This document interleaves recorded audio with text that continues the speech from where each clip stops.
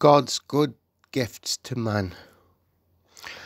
At the time when Jehovah made earth and heaven, no trees or plants grew on the earth, for Jehovah had not yet sent the rain, and there was no man to till the soil, but a mist rose from the earth and watered the ground.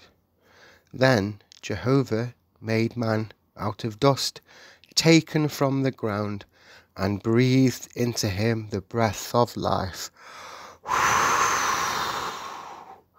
And man became a living being.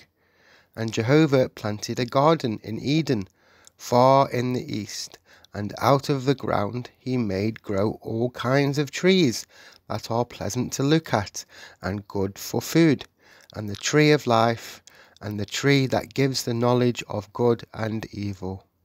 Then Jehovah took the man and put him in the Garden of Eden to till it and to care for it. And Jehovah gave the man this command You may eat all you wish from every tree in the garden, except from the tree that gives you the knowledge of good and evil. From this you shall not eat, for if you eat from it, you shall surely die. Then Jehovah said, It is not good for the man to be alone. I will make a companion for him.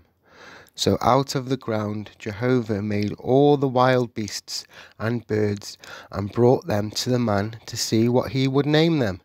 And whatever he called each living thing, that became its name. But for the man himself there was found no companion suited to him. Then Jehovah made the man fall into a deep sleep, and while he slept, he took one of his ribs and closed up its place with flesh. The rib which he had taken from the man, Jehovah made into a woman and brought her to the man.